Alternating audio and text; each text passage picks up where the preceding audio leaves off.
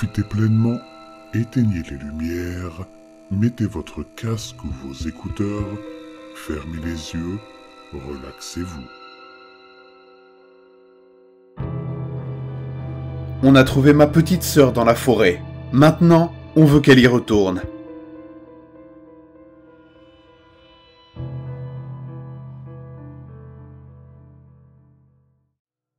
J'ai une famille incroyablement inhabituelle. Mon adolescence a été parsemée d'événements étranges qui ont conduit à une situation presque impossible. Ma famille ne s'est pas constituée de manière traditionnelle, aussi traditionnelle que nous puissions paraître à l'extérieur. J'ai un père et une mère. Mon frère aîné et moi sommes biologiquement les leurs. J'ai aussi deux sœurs adoptées. Ma première sœur, Violette, a été adoptée de façon traditionnelle, par l'intermédiaire d'une agence. Mes parents l'ont choisie et elle est devenue ma sœur à l'âge de 5 ans. Mes parents ont toujours voulu une grande famille et voulaient donner un foyer à un enfant qui était dans le système. Violette nous a donné quelques problèmes en grandissant. Rien de trop fou. Elle a eu un départ difficile, mais s'est bien adapté. Mon frère aîné était plus problématique qu'elle. Peter n'avait aucune raison d'être comme il était, mais c'était comme s'il était né cruel. Il aimait nous tourmenter, Violette et moi. Il faisait des choses beaucoup trop violentes pour son âge, comme nous mettre à l'eau. En tant que petit frère, j'ai toujours eu peur de lui. Ma petite sœur est le morceau de notre famille qui nous rend vraiment uniques. Nous avons trouvé Birdie à l'âge de six ans lors d'un voyage de camping en famille dans la forêt. Mes parents aimaient la forêt et nous, les enfants, étions entourés par la nature. Je me souviens d'avoir observé les oiseaux et les arbres et de m'être senti heureux de ne pas être à l'école. Violette se comportait mieux quand nous étions à l'extérieur. Je pense qu'elle aimait l'ouverture d'esprit. Cela nous a aussi permis de nous éloigner un peu de Peter, qui n'a pas eu beaucoup d'occasions de nous torturer lors d'un voyage en famille comme celui-ci. Lors de ce voyage, la forêt était particulièrement animée. Nous pouvions entendre toute une symphonie de sons d'animaux qui nous entouraient, il y avait de fortes odeurs florales dans l'air et une brise fraîche qui donnait l'impression d'éliminer l'air pollué de la ville de nos poumons à chaque respiration. Peter avait alors 16 ans et n'avait toujours pas appris à se comporter comme un être humain civilisé. Il donnait des coups de bâton aux petites créatures et essayait d'arracher les nids des arbres avec des pierres lorsque nos parents avaient le dos tourné. J'ai essayé de leur parler de sa cruauté à maintes reprises, mais ils ne voulaient pas en parler. Ils l'ont fait suivre une thérapie à maintes reprises et ils étaient épuisés. Rien ne marchait. Violette avait 12 ans et se préparait à rentrer au collège. Mais elle était tellement gentille qu'il n'y avait jamais rien à craindre d'elle. J'avais 14 ans et seulement quelques années de plus qu'elle, donc je pouvais la surveiller à l'école. Ce séjour en camping semblait être le dernier moment où nous pourrions être une famille avant que nous ne soyons tous trop vieux pour nous en préoccuper nous avons fait un feu de camp, raconté des histoires effrayantes et bien dormi la première nuit. Puis le lendemain matin, nos vies ont changé pour toujours. Violette est partie dans la forêt pour explorer et cueillir les fleurs, et elle était très attirée par les plantes à l'époque et voulait savoir ce qu'elle pouvait trouver. Nous l'avons entendue crier environ dix minutes plus tard. Maman et papa ont couru vers elle, et après environ vingt minutes, ils sont revenus avec une petite fille couverte de terre et enveloppée dans la veste trop grande de mon père. C'était la première fois que nous rencontrions Birdie, ma plus jeune sœur. Nous l'avons appelée ainsi parce que pendant longtemps, c'est tout ce qu'elle pouvait dire. Quand Violette l'a trouvée, deux oiseaux étaient assis près d'elle, comme s'ils veillaient sur elle, et elle a simplement lâché le mot Birdie. Elle était nue, grelottante et mal nourrie au pied d'un arbre non loin de notre campement. Elle avait des brindilles et des feuilles dans les cheveux et de la terre étalée sur son visage. Ses cheveux étaient sauvages et bouclés, d'un blond sale avec des reflets plus clairs là où elle avait été exposée au soleil pendant si longtemps. Les médecins ont dit que c'est comme si elle n'avait jamais eu de maison. Ils n'arrivaient pas à comprendre comment elle était encore en vie.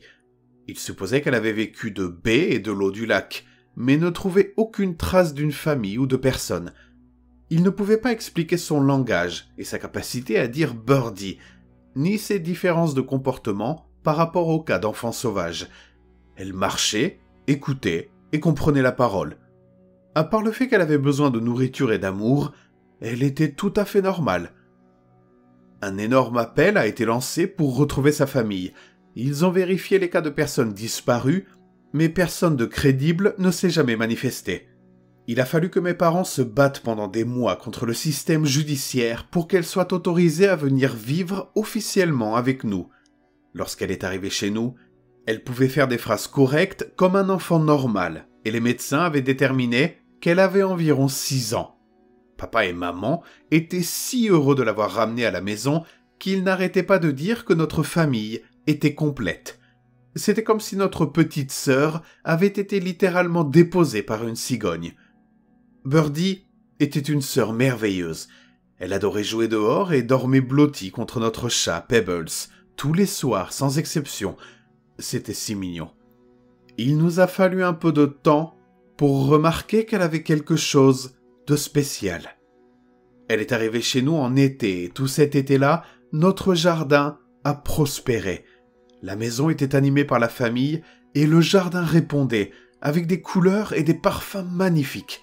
Les papillons le fréquentaient, les abeilles y récoltaient du pollen. Birdie adorait tout cela. Elle passait des heures à les regarder en souriant. Elle adorait bien sûr le chant des oiseaux. Parfois, elle se réveillait à 5 heures du matin juste pour s'asseoir dehors pendant qu'il gazouillait. Un jour, à la fin de l'été, notre chat Pebbles a été renversé par une voiture. La personne qui l'a renversé n'a pas pu l'éviter. C'était un accident. Mais il était bien mort. Ses pattes étaient cassées et sa fourrure était imbibée de sang.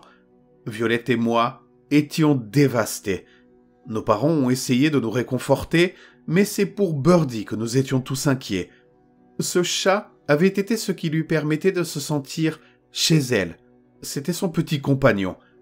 Cette pauvre fille abîmée s'est juste accrochée à son corps sans vie, refusant que quiconque le lui prenne, alors que papa préparait une minuscule tombe dans le jardin.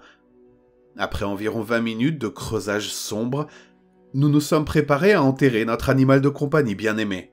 Je me suis tourné vers Birdie et je l'ai regardé respirer fortement dans la fourrure de son ami mort.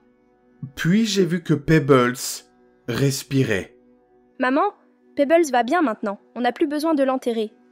Birdie a dit en tirant sur le gilet de ma mère. Toute ma famille était sous le choc.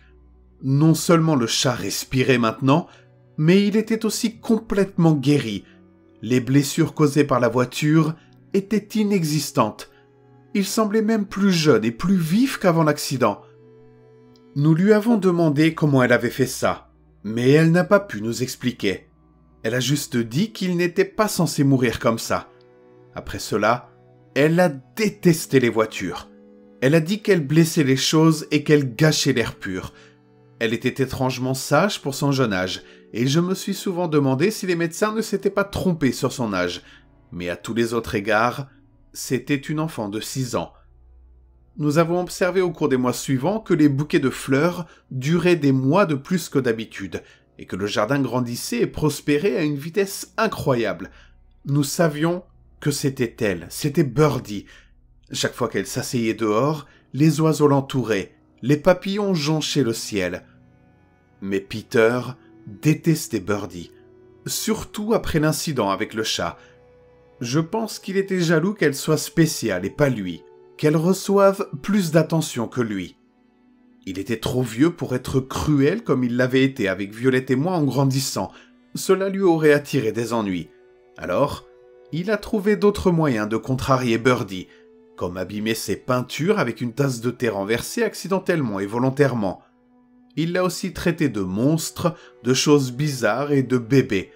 Il a même arraché la jambe du premier ours en peluche que papa et maman lui avaient offert en prétendant que c'était un accident.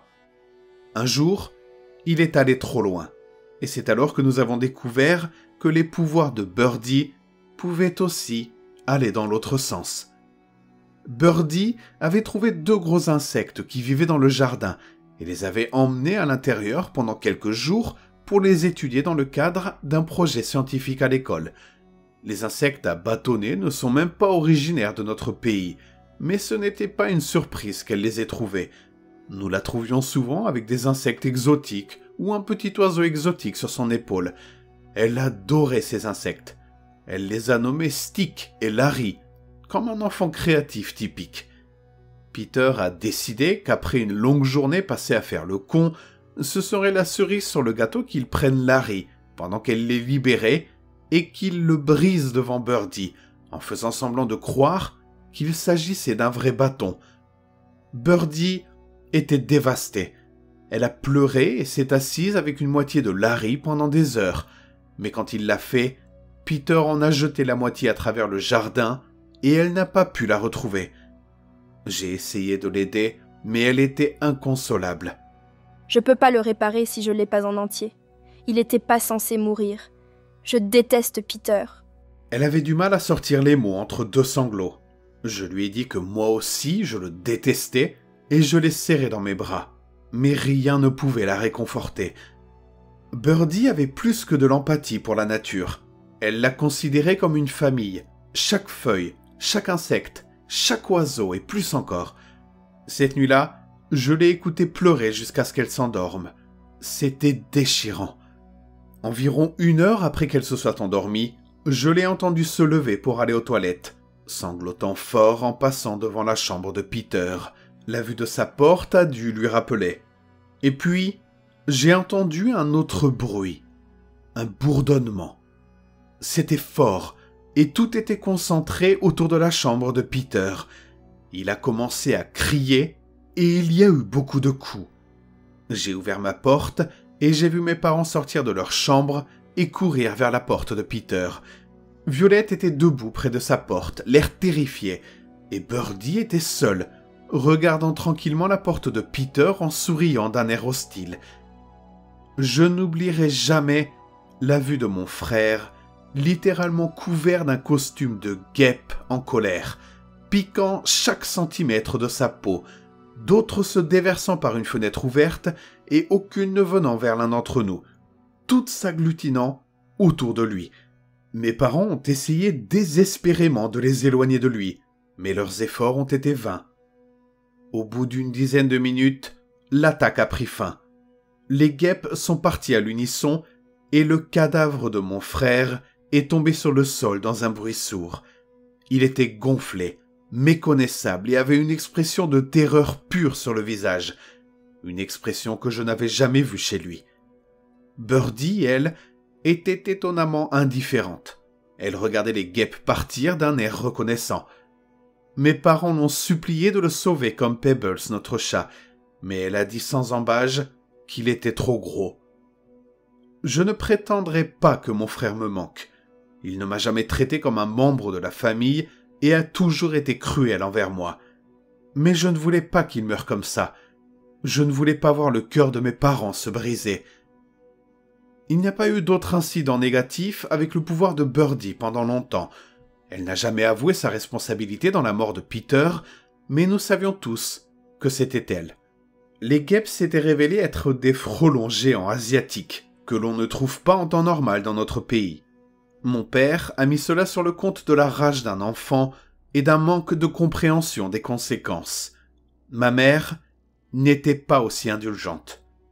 Elle a interagi avec sa fille cadette le moins possible pendant les trois années qui ont suivi.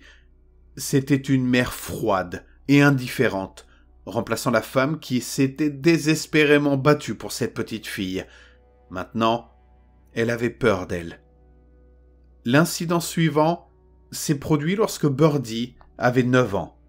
Elle avait alors appris que les autres personnes ne pouvaient pas faire ce qu'elle faisait, et qu'il fallait qu'elle le cache au moins un peu. Nous avions toujours le meilleur jardin de la ville, mais elle avait appris qu'il valait mieux jouer avec les lémuriens dans le jardin le soir quand il n'y avait personne.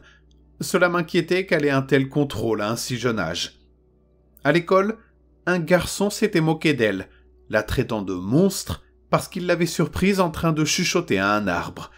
Ce même garçon a été soudainement mordu par une araignée recluse brune, ce qui a semé la panique dans la région, car ces araignées extrêmement venimeuses étaient maintenant en liberté dans la ville. Le jeune garçon a passé trois mois à l'hôpital avec un ulcère infecté de la taille d'une balle de tennis, avant que son petit corps ne rende l'âme. Birdie était vraiment dangereuse. Les choses n'ont fait qu'empirer à partir de là. En grandissant, elle est devenue de plus en plus consciente du monde et de ses maux. Elle est particulièrement préoccupée par les questions environnementales et se met très facilement en colère. Plus elle grandissait, plus les animaux et les menaces devenaient importants. À onze ans, elle était à l'origine de cas de blessures causées par des scorpions, des chats sauvages, des renards et même des plantes vénéneuses, parce que des écoliers faisaient pipi dans les parterres de fleurs et que des professeurs faisaient des démonstrations de dissection. Notre famille avait peur de marcher accidentellement sur un pissenlit. Elle a invoqué certaines des créatures les plus étranges et les plus fantastiques que j'ai jamais vues. En vacances, nous nagions dans la mer lorsqu'elle a vu un homme laisser tomber sa canette de bière dans l'océan. Il a rapidement été entouré par des centaines de méduses, évitant soigneusement toutes les autres personnes sur leur chemin, juste pour attaquer cet homme en particulier. Il est mort dans d'atroces souffrances dans l'océan tandis que ma petite sœur s'est contentée de sourire. Elle a treize ans maintenant, et est devenue une adolescente à part entière, des crises de colère et des drames à propos de tout. Tous les adolescents font ça. Mais Birdie est vraiment effrayante. Là où on l'a trouvée entourée de papillons avec un bourgeon exotique sur l'épaule, il est maintenant plus probable qu'elle chuchote par un interstice de sa fenêtre à un vautour avec une tarentule venimeuse sur l'épaule, c'est comme mère nature. Les années de puberté. On doit faire attention à chacun de ses pas. Chaque plante peut nous tuer. Un animal peut nous tomber dessus au détour d'une rue. Ou bien on doit regarder sa sœur de 13 ans tuer une personne, en sachant qu'on ne pourra jamais prouver que c'était elle. Je ne savais pas quoi faire. J'étais pétrifié. Violette et moi sommes toujours très proches, bien qu'elle soit partie à l'université, je suis allé directement travailler moi-même et je suis resté à la maison. Et avec Violette, nous parlons de temps en temps. Quand elle rentre à la maison, elle voit ce que je veux dire. Des incidents mineurs se produisent presque tous les deux jours, et des incidents majeurs environ une fois par mois. Cela devient incontrôlable. Alors, nous avons élaboré un plan. Ce week-end, nous avons proposé à nos parents de faire du camping en famille, à l'endroit où nous avons trouvé Birdie pour la première fois. Elle a toujours demandé à y retourner et à le voir, mais ils ont refusé à cause des circonstances. Après tout ce qui s'est passé, ils ont désespérément besoin de quelque chose qui pourrait ralentir les incidents de Birdie. Alors, ils ont accepté assez rapidement de nous ramener tous. Ils pensent que si elle voit ce qu'elle a comparé au néant d'où elle vient, elle se détendra et arrêtera ses crises d'adolescente. Violette et moi, nous avons essayé de ressentir ce que nos parents en pensent. Nous l'avons vraiment fait. Mais nous ne croyons pas qu'elle puisse changer. Elle a tué neuf personnes et elle n'a que treize ans. Alors ce week-end, nous allons la tuer et l'enterrer sous l'arbre sous lequel Violette l'a trouvée, un peu comme si on l'a plantée pour qu'elle puisse retourner à la nature. Nous aimons notre sœur, mais nous ne pouvons pas laisser d'autres personnes mourir. La plus grosse chose que je l'ai vue sommer est une hyène, et elle continue de grandir. Nous ne pouvons pas prendre le risque qu'elle soit en vie. Nous ne pouvons tout simplement pas. Nous pourrions ne pas réussir. Nous pourrions être attaqués par des monstres et mourir. Mais nous devons essayer. Ma famille est maintenant rentrée de notre voyage en camping. Je ne sais même pas par quoi commencer, car les choses ont été incroyablement mouvementées. En fait, avant de partir au camping, j'avais commencé à avoir des doutes à propos de notre plan de la tuer. J'ai décidé d'en parler à Violette pour que nous puissions aborder toutes les autres options possibles. Elle était à la maison pour l'été, alors nous sommes allés prendre un café pour que notre famille ne puisse pas nous entendre.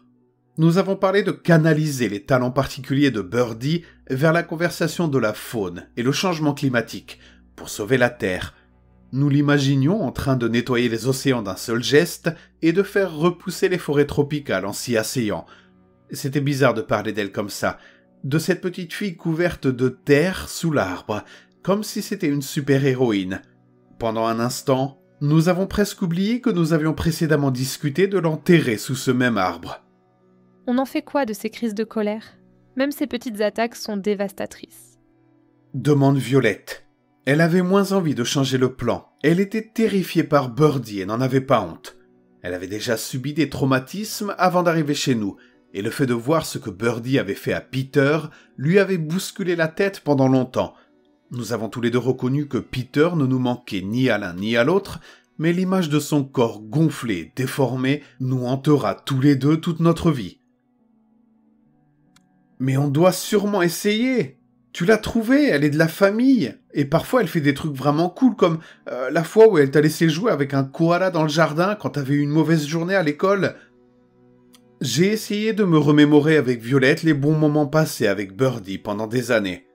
Je me rappelle l'avoir tenue pendant qu'elle pleurait devant l'image du cadavre de Peter. Cela a pris beaucoup de temps, et nous avons dû rester assis dans le café pendant au moins trois heures. Mais nous avons finalement décidé que nous allions essayer de la raisonner et que si cela ne fonctionnait pas, nous reviendrions à notre plan initial. Je sais que les gens vont penser que nous avons agi avec précipitation, en recourant au meurtre, mais personne n'a vécu ce que nous avons vécu ces sept dernières années, à éviter le sumac vénéreux et à toujours devoir porter des chaussures au cas où un scorpion se serait échappé, se tordre de terreur chaque fois que l'on entend une mouche bourdonner, sans parler du fait qu'on a assisté à la mort de plusieurs personnes. Samedi matin, nous avons donc préparé la voiture. Nous sommes rentrés et nous nous sommes préparés pour le voyage. Nos parents étaient tellement excités. Birdie était aussi paisible que peuvent l'être des adolescents lunatiques, et nous avions l'impression d'être à nouveau une vraie famille. Le trajet en voiture a été long. La forêt se trouvait à environ deux heures de notre maison, et il faisait chaud. Nous transpirions tous, et les liens familiaux que nous avions tissés au début ont rapidement disparu. Birdie avait insisté pour avoir un siège côté fenêtre, maintenant qu'elle avait treize ans. Elle dit qu'elle était trop âgée pour être toujours coincée au milieu et que nous pourrions établir un système de tours. Elle était juste à ce sujet, et ni moi ni Violette n'avons l'intention de contrarier Birdie. Alors nous avons accepté et Violette a pris le siège du milieu. À peu près à la moitié du trajet, nous savions que nous étions dans le pétrin. Birdie s'amusait à regarder la campagne qui borde l'autoroute sur laquelle nous roulions, jusqu'à ce qu'elle aperçoive un renard sur la route. Le renard avait été heurté et gisait là écrasé, tandis que Birdie reniflait un peu. La voiture l'a rapidement dépassé. En fait, Birdie était généralement plus en colère que triste. Mais elle avait beaucoup résisté à la voiture après Pebbles, et voyager aussi loin dans une voiture était quelque chose d'inouï. Elle n'avait jamais vu d'animaux tués sur la route. Cela ne faisait que lui rappeler son chat, mutilé dans ses petits bras. Pourquoi les voitures ont tué le renard? Demande-t-elle en reniflant encore un peu. C'était un accident, ma chérie. Les voitures vont trop vite sur ces routes pour s'arrêter, et parfois les renards se précipitent devant elles. Mon père lui a répondu un peu tendu. Ma mère a gentiment acquiescé. Mais les voitures traversent la maison des renards, non? Elle a dit sans embâge, en montrant d'un geste la campagne de part et d'autre de la route. Pourquoi est-ce que les voitures ne font pas plus attention? Elle commençait à s'irriter. La voiture était humide. Je ne savais pas si c'était à cause de toute cette tension ou si la chaleur extérieure avait pris cette tournure. Je me sentais moite et un peu malade. Puis le ciel s'est couvert. Un temps de mousson comme on n'en avait jamais vu dans notre pays. L'humidité avait été le signe d'une tempête, mais elle avait à peine duré 30 secondes. Ce devait être elle. Birdie était en train de faire ça. Elle n'avait jamais été capable de changer le temps avant. Personne ne m'a répondu. Birdie annonça, son ton encore plus irrité qu'auparavant. Mes parents avaient été trop distraits par les précipitations soudaines et extrêmes pour s'engager dans sa conversation philosophique. Désolé, ma chérie. Tu as entièrement raison, les conducteurs devraient être plus prudents. Et la plupart des gens le sont. Mais il arrive encore que des accidents se produisent. Bon sang, il pleut tellement que les essuie-glaces n'arrivent pas à suivre. Mon père a essayé de rester calme, bien que sa déclaration soit incroyablement correcte. Ses essuie-glaces ne pouvaient pas suivre et la visibilité devant lui était affreuse. Il y avait juste tellement d'eau qui tombait du ciel. Les voitures autour de nous avaient ralenti et toutes avaient du mal à neutraliser leur vitesse. J'ai regardé en arrière et j'ai pu distinguer les silhouettes dégoulinantes d'un carambolage de trois ou quatre voitures qui se trouvaient à environ deux voitures derrière nous et qui s'approchaient du virage. J'ai regardé Birdie, incrédule, qui regardait le chaos flou par la fenêtre arrière et qui souriait, ce même sourire méchant qu'elle avait donné à Peter lorsqu'il est mort. C'est toi qui as fait ça. Violette lui a crié dessus. La pluie se calmait et laissait un magnifique arc-en-ciel dans le ciel alors que le soleil brûlant émergeait à nouveau. Pourquoi t'es tout le temps en train de m'accuser? Ils l'ont probablement mérité de toute façon. Ils auraient dû faire attention en conduisant ces horribles machines de mort. Elle a tapé sur la vitre de la voiture. Birdie n'avouait jamais directement quoi que ce soit. Alors tu l'as fait. Violette a insisté. J'étais étonné de la voir se défendre. Non, je n'ai jamais dit ça. Tais-toi, Violette. Fermez-la toutes les deux Ma mère a répliqué en criant. Elle ne disait pas grand-chose ces derniers temps, mais elle ne mettait certainement pas Birdie au défi. Quand elle disait quelque chose, nous savions qu'il fallait l'écouter. Le reste du trajet en voiture a été court, mais silencieux et gênant. Nous sommes arrivés au camping environ une demi-heure après avoir quitté l'autoroute, et nous avons commencé à déballer la voiture. Dès que Birdie est entrée dans la forêt, elle a changé. C'était comme si le monstre de la puberté avait complètement disparu.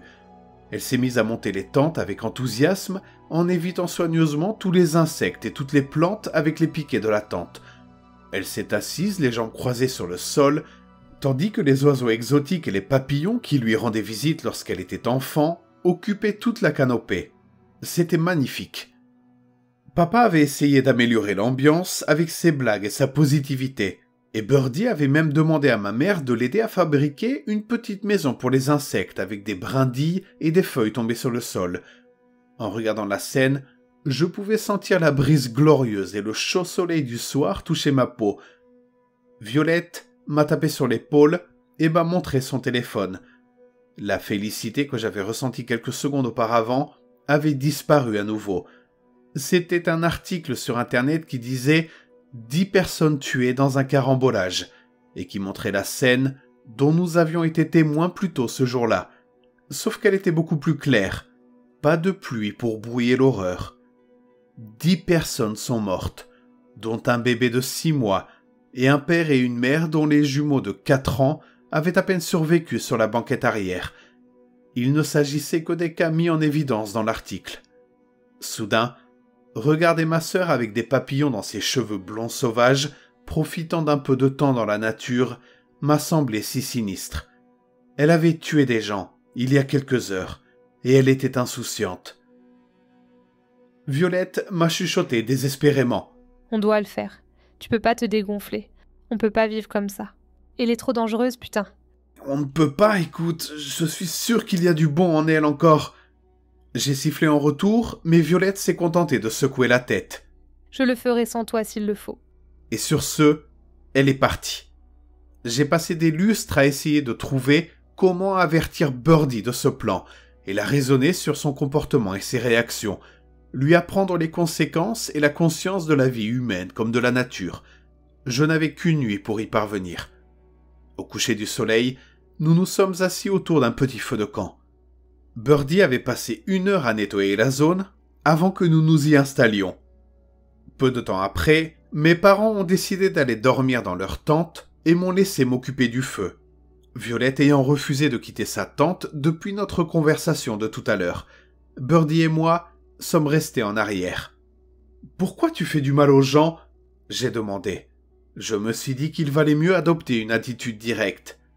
Je ne sais pas de quoi tu... Ne mens pas Parce qu'ils font du mal à tout ce qui les entoure. Elle parlait calmement. La forêt lui faisait du bien. Elle était bien plus agréable qu'en ville. Ils conduisent des voitures horribles qui tuent des choses. Ils marchent dans un air qui me fait mal à la poitrine et ils se moquent de ce qu'ils jettent par terre. Ils pensent que les animaux sont moins importants qu'eux. En ville, j'ai tout le temps mal à la tête rien qu'à cause de l'air. Les gens sont dégoûtants. J'étais stupéfait. C'était la première fois qu'elle acceptait une quelconque responsabilité, et encore moins qu'elle l'expliquait. J'ai eu du mal à argumenter, elle avait raison. Mais tu peux faire des choses incroyables.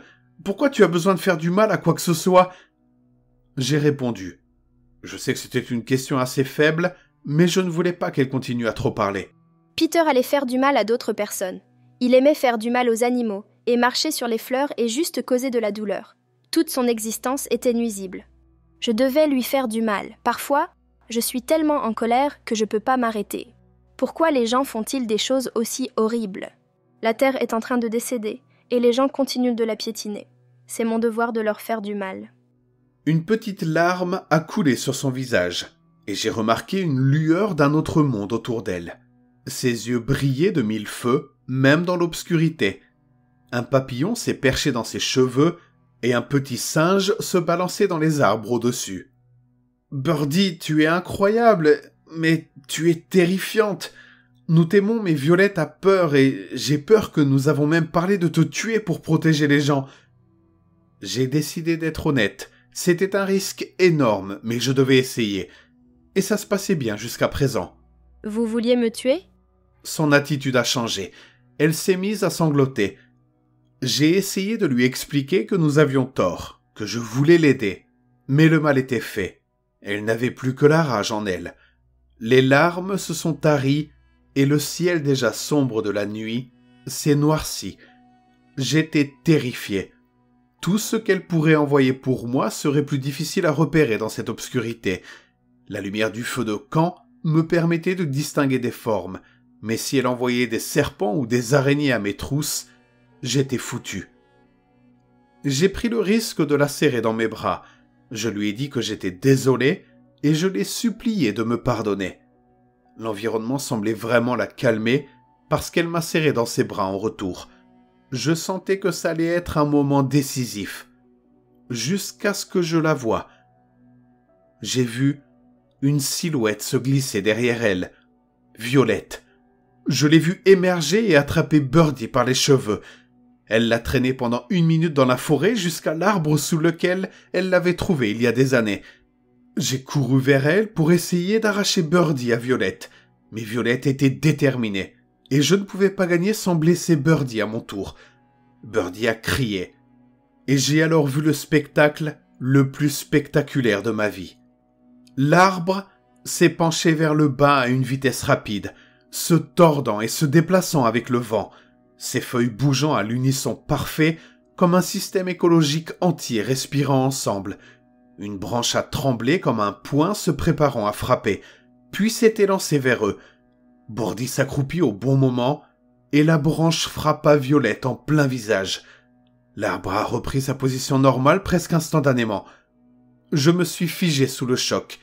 Violette hurlait de douleur. Son nez était brisé et son visage couvert d'échardes profondes et sanglantes. Vous êtes censé être ma famille. Pourquoi vous faites ça? Birdie a crié vers Violette, qui se tordait de douleur sur le sol. La sensation est alors revenue, la chaleur humide et oppressante, la chaleur moite. La pluie a recommencé à tomber. Cette même pluie lourde et non naturelle qui avait causé l'accident plus tôt. Birdie, arrête ça, s'il te plaît J'ai crié. Le lointain feu de camp avait été éteint par la pluie, et nos parents étaient maintenant sortis de leur tente et essayaient de savoir ce qui se passait. Il leur a fallu un certain temps pour nous trouver dans l'obscurité, Ma mère a couru vers Violette et a essayé de la réconforter alors que du sang coulait sur son visage. Elle avait été frappée si fort qu'elle avait certainement subi une commotion cérébrale. Mon père a essayé de calmer Birdie, mais ça n'a pas marché. Elle n'arrivait pas à se remettre de l'attaque de Violette. Je m'étonnais que nous soyons tous encore en vie à ce moment-là. Ce fut rapidement une masse de cris que personne ne pouvait entendre par-dessus l'incroyable averse. Il a fallu un certain temps, mais Violette s'est relevée du sol et s'est dirigée vers Birdie.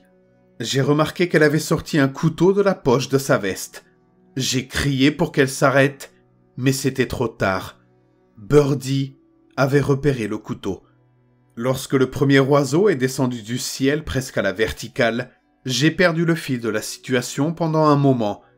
C'était si majestueux de le voir filer à toute allure dans le ciel coupant la pluie brutale comme du beurre. jusqu'à ce qu'il enfonce son bec dans le crâne de Violette. Puis un autre, et un autre, et un autre.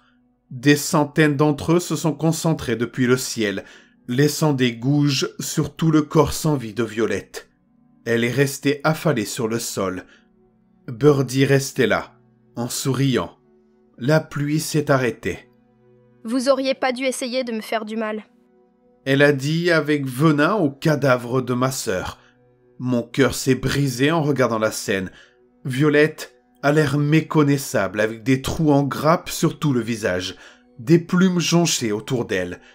À ce moment-là, ma mère catatonique a levé les yeux de sa fille aînée vers sa cadette.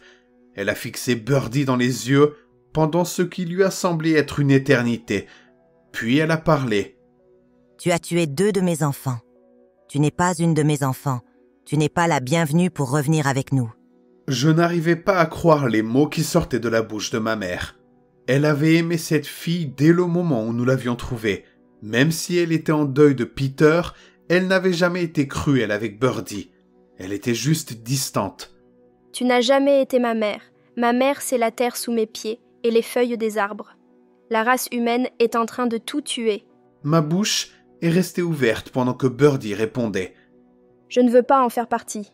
Je me sens chez moi ici, je ne peux pas être comme les gens, je dois aider les choses qui sont vivantes à survivre. Je voulais que ce soit aussi l'humanité, mais c'est un tel fléau pour tout le reste.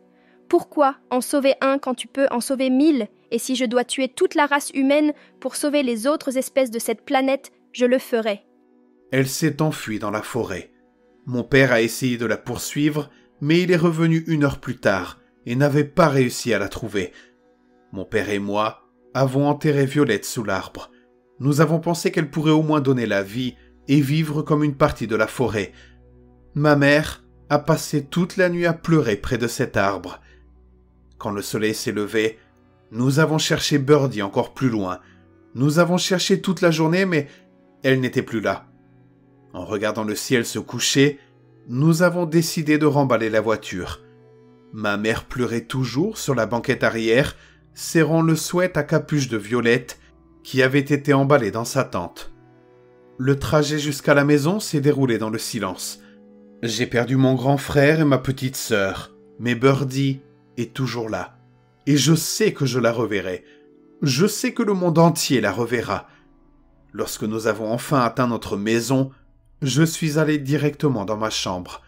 J'ai jeté mon sac sur le lit et j'ai regardé notre jardin, où j'avais partagé tant de souvenirs avec mes frères et sœurs.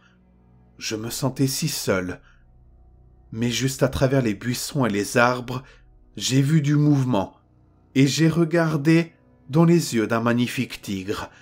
Il était énorme et fort, rien à voir avec nos précédents visiteurs exotiques, plus petits, mais il avait des yeux familiers. C'étaient les siens, et je sais qu'elle nous observe. Elle devient de plus en plus forte, et la race humaine n'a aucune chance contre elle.